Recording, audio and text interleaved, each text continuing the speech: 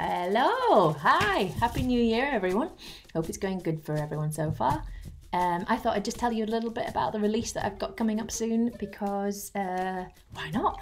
So it's called Fuego, which means fire, and all the tracks are fire inspired. So there might be like the, the fire of anger or passion or of determination or just. Uh, uh, except there's one track called North Wind I've just noticed, which is nothing to do with fire. It's just, let's call that one the balm track to soothe things out, and then fire again.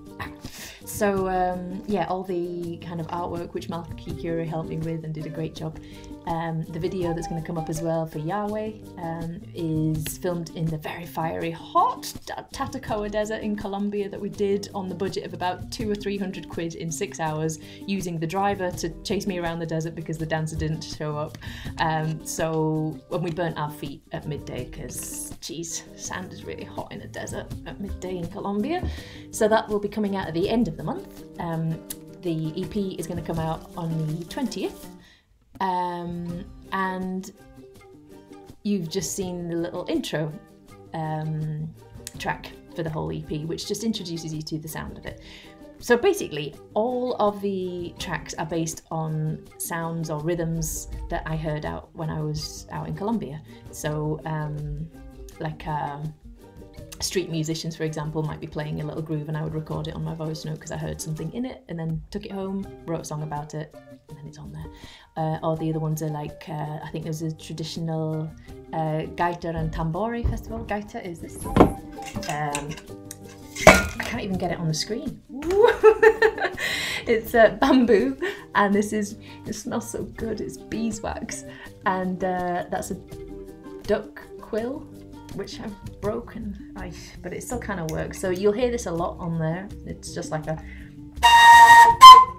sound. I know you might be like, sounds like a panpipe. But this ain't an album called Reflections. This is Colombian indigenous flute, very powerful instrument, and the, the people that play it there play it with such. Uh, so I attempted that. I attempted to play lots of new instruments that I never have done before.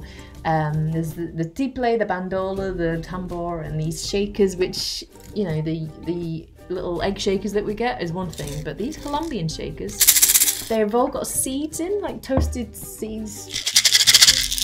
Oh, this one here. I just um, so I, I kept adding and adding and adding, and then by the end of it, I had um, uh, some of them were like 150 um, two, I think nearly 200 track tracks because I just couldn't stop putting more drums on and making it really beefy. So that's what you're going to hear. And um, I, I have to attempt to make these big symphonic tracks into just me on a guitar and a drum when I go around Colombia in a few days. I need to pack. I haven't packed. I'm gonna go soon to do a tour with my neighbour uh, and we're just going to go around nine different places and um, try and just um, give the EP a bit of life and give us a bit of fun. Um, I hope you enjoy it. Thank you so much to everyone who does follow me, like me, comments and stuff. I really appreciate it. I'm I'm just having fun here. I'm um, going with the flow and just creating as I go. And uh, I'm sorry, it's not so much of a sing along song EP. The next one I'm planning to do more kind of like guitar, vocal, song based stuff. But this one I just really enjoyed exploring grooves and rhythms and different sounds and trying to build a song up from that. Um, uh, yeah, just no idea how to do them live, but we'll see. I've got a few days. So uh, for now, enjoy the intro track for the EP, and um, please. Oh God, I hate doing this, but if you follow me on Spotify, that would really help because it can get you playlisted really easy, stuff like that. So yeah, follow me and all the usuals would be really appreciated. Thank you, guapas. Ciao.